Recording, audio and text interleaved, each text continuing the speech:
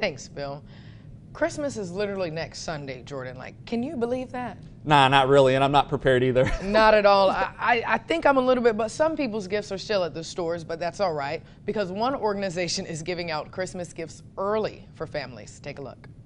This is how we build the Brazos. With toys, diapers, and notebooks. And we're making sure like they have the bare necessities and then we're moving on to like, of course, the fun stuff where the toys and the gifts. As a founder of the nonprofit Brazos Valley Blessings hosts their third annual community Christmas giveaway with the help of the community contributing to the BVB fundraiser to fund Christmas gifts for families. It's our third Christmas and it's super humbling, um, very appreciative, very thankful, and I think it just goes to show that the Brazos will take care of the Brazos. From toys to undergarments, it's going to be a very Merry Christmas for some families in the Brazos Valley.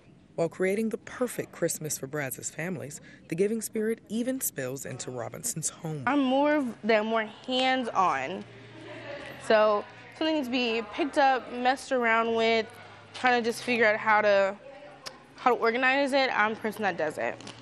Her daughters, Brianna and Briasia, being the two heartbeats of the BVB. They run the show behind the scenes a lot of the times, and they pitch in, and servitude is very big in our family. They started building the boxes on Friday to prepare to gift them to the families on Saturday. Going into the new year, Robinson says she hopes to make BVB bigger than ever all while helping families in need throughout the Brazos Valley. Because, like she says, this is how we build the Brazos.